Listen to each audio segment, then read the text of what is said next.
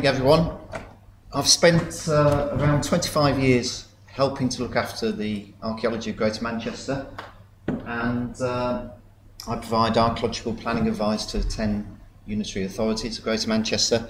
So I just wanted to share some of my experiences with you this morning um, about um, how we've tried to engage with the community and development.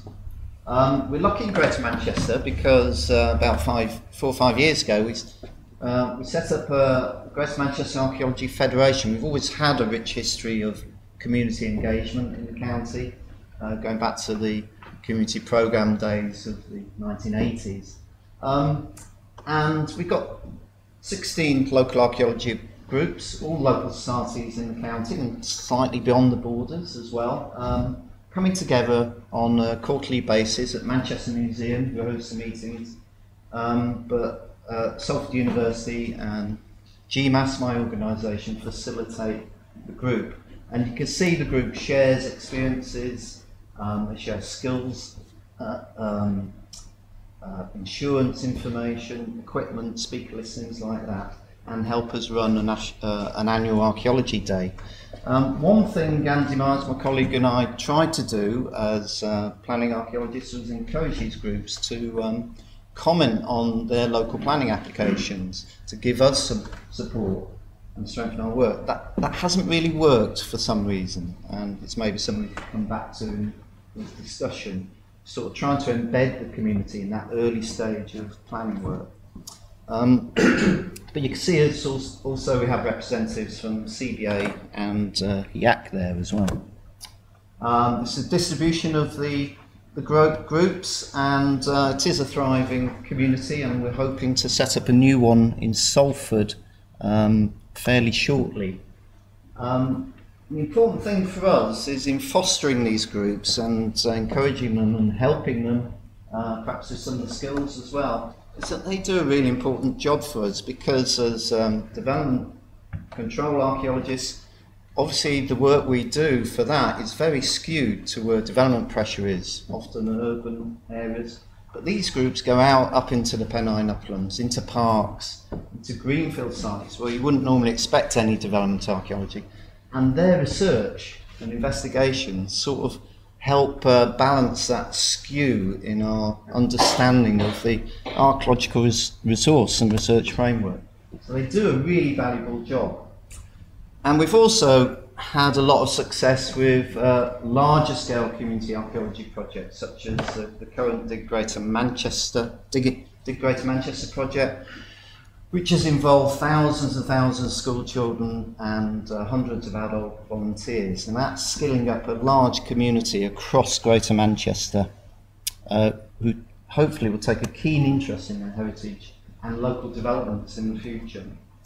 Um, just touching on a few types of uh, uh community engagement through the uh, uh, planning system.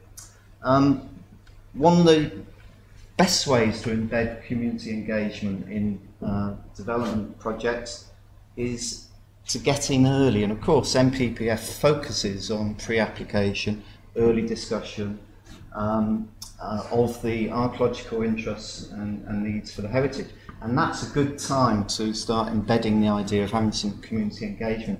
And particularly for the larger scale urban regeneration projects like the one we've had at Central Salford um, working with the um, uh, Greater Manchester Archaeology Federation members um, and members of the local community in Islington and Salford in this instance, we've been able to get them involved in helping out with the archaeological excavations.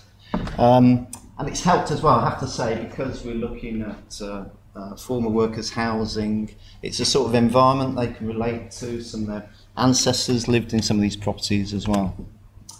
Um, but the other important point is that it can be great PR for the developer as well. It can help sell their development, show that they're faring and uh, are uh, within the planning statements, of course, they have to demonstrate community engagement. So archaeology can be a really good tool for that. We've had a recent case at the late 18th century New Bailey prison in Salford where we're able not only to do guided tours but uh, to have uh, a couple of weeks of uh, community archaeology on the site. And um, the developer, English Cities Funds, was really engaged with that process. And we've seen a good example at Hungate as well, of course. Um, again, pre-application, some developers, large developers, acquire sites and they know what they want to do on those sites, but again, they want to engage with local community way before putting a planning application in. This is Worsley New Hall, Peel Holdings wants to build a new hotel on the site of the uh, uh, former hall.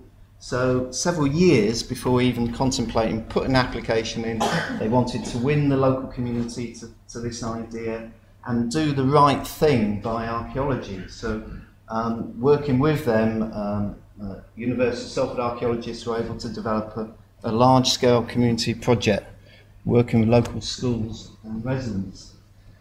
And uh, some of the skills and knowledge that something that these people have can be crucial to project success. The chap on the left there, um, just through serendipity, he used to be a lift engineer and uh, we found an intact lift from the early 20th century in the basement of, of Worsley New Hall, and he was able to tell the archaeologists how it worked, where it was made, uh, and those are just the sort of things that communities can bring to these projects.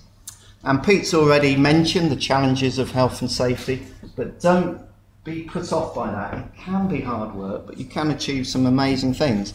And accepting that many sites aren't appropriate for uh, direct community participation, but here we have um, uh, a massive excavation on the site of Ashbury Iron Foundry in Gorton, East Manchester, uh, a new centre for Network Rail now, um, and they really bought into the idea of trying to bring in one of the local groups to help with the professional archaeologists on site, SLR, and SLR themselves accepted they didn't have the complete skill set and knowledge to understand some of this complex industrial archaeology on site.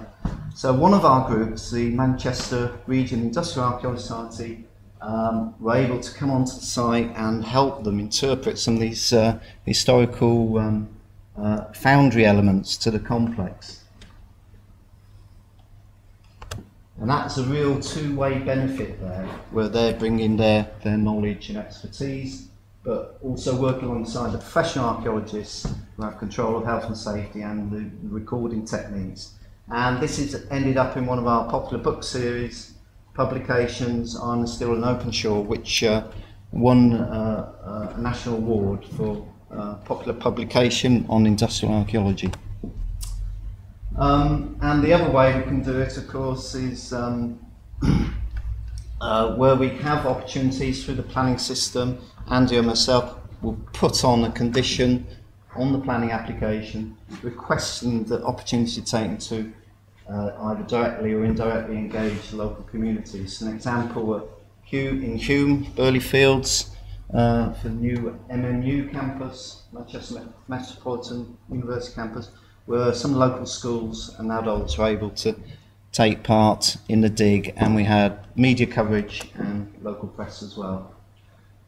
And if it's not possible to directly involve the community, there's all sorts of ways of disseminating the results. And it's very important that we as archaeologists don't go and dig a site, leave it, and nobody in that area knows what was found or why we were there. Um, so there's plenty of ways of doing that. I'm sure most of you have done these open days. Um, this is an example at the new Co-op HQ site in Manchester, where we had a thousand people down one Saturday to look at former uh, workers' housing. Bottom right is the Graphene Institute at Manchester University. Again, another successful open day where university employees came down to look at the former workers' housing. And of course, um, the legacy of the site can be to put up information boards. So although all the archaeology of site is gone, the new people coming in get a sense of history in place about where, where they're living. And one of the things we found works well is to try and uh, develop popular publications for the larger scale commercial projects. We've now got up to 13 in our Greater Manchester Past Revealed series. And uh, we produce about a thousand print run for these and give them freely to local communities, to schools, to libraries, to museums. When they're all run out, uh, we put PDFs on the website. Um, so that's gone down really well, and it's a really attractive and useful way of telling the local people about what was found. so the good thing is today, um, NPPF has some nice hooks uh, on which to justify community engagement in the planning process. Uh, when Andy and I write our conditions of consent for applications, where we think it's appropriate, we, we can use those conditions to make sure that uh, community are involved. And justification, for that is paragraph 141 from NPPF. But more recently, we've also got best practice guidance now, which um, embeds that and enforces um, uh, um, that, uh, that paragraph from NPPF, which is uh, section 43 under public engagement. And that's a really useful summary of the way in which community archaeology can be done on commercial sites. Um, uh, just getting near to the end, but I just wanted to reflect on um, how difficult it's been for local government archaeologists in recent years. This is a survey we did in 2010, um, looking at the how ALGAO members um, connected to education and outreach, and um, as you can see, the majority of them felt it was a crucial part of what they did in their normal work and there's a whole range of activities they undertook. Um, sorry, that's on its side. You have to skew your head, but uh, um, to try and uh, disseminate the wonderful archaeology that they were dealing with in, in their area.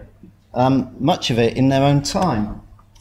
But sadly, even five years ago, it was recognised that it was a major threat to the services uh, coming up, as you can see by their understanding of what's going to happen in the future. And of course, those threats have come, come to fruition. And we're looking now at another, in places, 40% cut of local authority budgets. So it's not going to get any better. I think what's happening now is you're getting a very mixed bag across the country where you get some well resourced local government services. In other areas, perhaps in the north and Midlands, there's almost nothing there. And archaeologists, local government archaeologists, are having to concentrate on their statutory, uh, minimum statutory duties. And sadly, the community work that many, there were many dedicated posts in 2010 even for community archaeology in local governments, but those have all gone because those weren't seen as essential to the service. And we are under resourced and under pressure, and I think um, we're going to have to look at new models of working in some parts of the country. I'm going to leave that with you. I'm not going to run through that because I hope you can all see that. Those are just some of the um, my observations um, from thinking about this talk today, which hopefully might stimulate a little bit of uh, discussion uh, that we're going to have shortly. Thank you, Kev.